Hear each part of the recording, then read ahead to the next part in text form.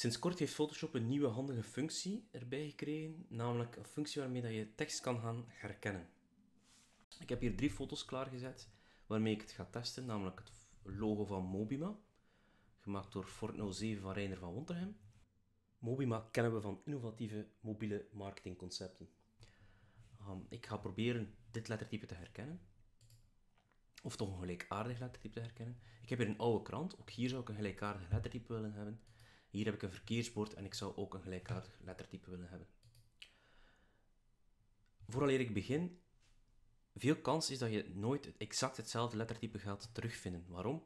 In de Adobe-programma's zitten heel veel lettertypes, maar ook nog veel meer lettertypes niet. En veel lettertypes kosten geld tot vrij veel geld om aan te kopen. Vandaar, de lettertypes die ik ga terugvinden, zijn nooit dezelfde lettertypes, maar lettertypes bij benadering. Het kan zijn dat je dezelfde lettertype vindt, maar dan moet je geluk hebben dat iemand een standaard lettertype heeft gebruikt of een lettertype uit de Photoshop of Adobe familie. Ik heb hier om te beginnen, voor ik ga testen, heb ik wat tekst klaargezet. Ik ga die eventjes zichtbaar zetten, namelijk de woordjes die ik zou willen in de tekst, in de lettertype zetten van het origineel. Die staan nu nog in Arial. Ik ga eventjes naar Mobima. Om mij gemakkelijker te maken, want hier staat met het woordje Mobima aan elkaar. U merkt in het logo zijn de letters wat uit elkaar getrokken. Ik ga dat hier al een klein beetje simuleren.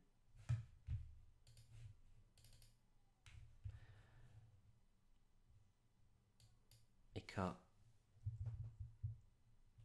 bij teken de ruimte tussen de letters voorlopig op, tussen, 440 zetten. Misschien straks nog wat meer, nog wat minder.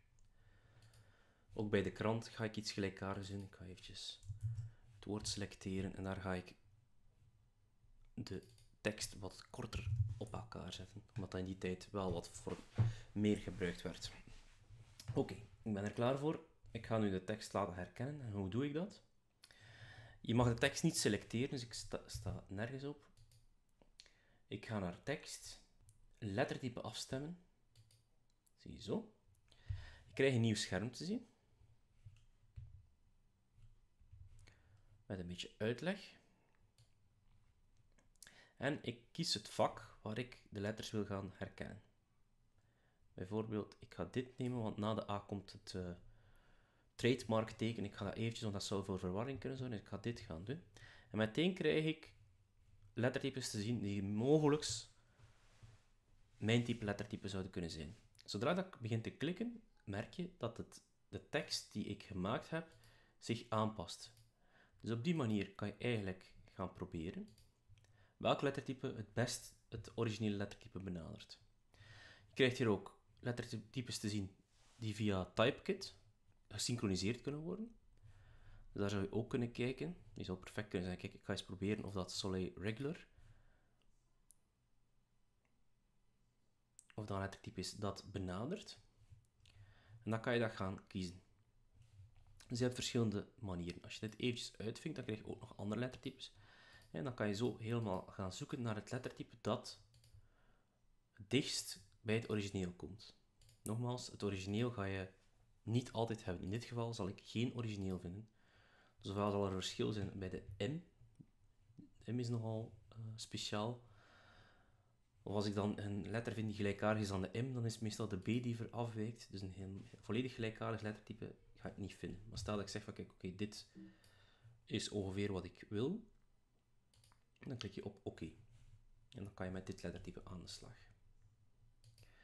Even dat de oude krant, stel je wil een oudachtige krant maken en je zoekt letter, een gelijkaardig lettertype.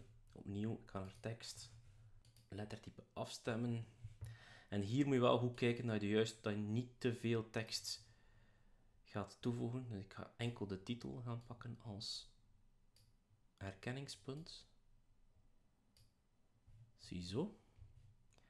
En dan ga ik nu gaan kijken naar de verschillende lettertypes. Tot ik er een heb wat goed is voor mij. Klik op OK. En ik heb een gelijkaardig lettertype als dat van Gent. Misschien nog een klein beetje smaller zetten de tekst. wat vetjes zetten.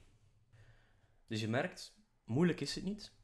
Zal het perfect zijn? Nee, zeker niet. Dus je zal niet perfect de lettertypes gaan benaderen. Nogmaals, omdat je die meestal zal moeten aankopen. Maar je kan toch wel in een bepaalde stijl een lettertype overnemen.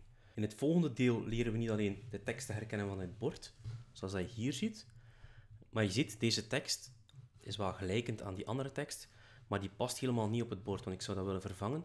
Dus we gaan leren hoe we eigenlijk de originele tekst, Vancouver, dan gaan verwijderen, deze tekst in de plaats zetten en op zo'n manier dat het eigenlijk niet opvalt dat we een andere tekst hebben gemaakt. Dat zien we in een volgend filmpje.